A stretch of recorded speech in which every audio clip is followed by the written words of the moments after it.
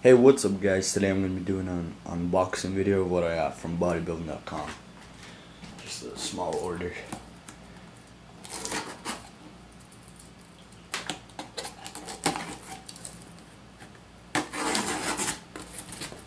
Alright.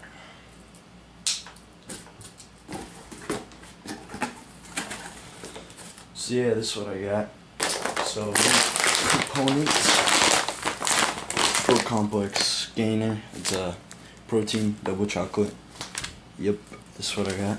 And then I got some flax oil. It's uh, 32 FL.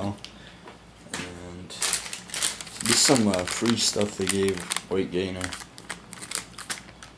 And uh, I got some. I bought this pad lifting straps. And then they give you a free shirt for ordering $75 or more. And uh, another free sample. Some uh, creatine creature. So yeah guys, thanks for watching. Uh.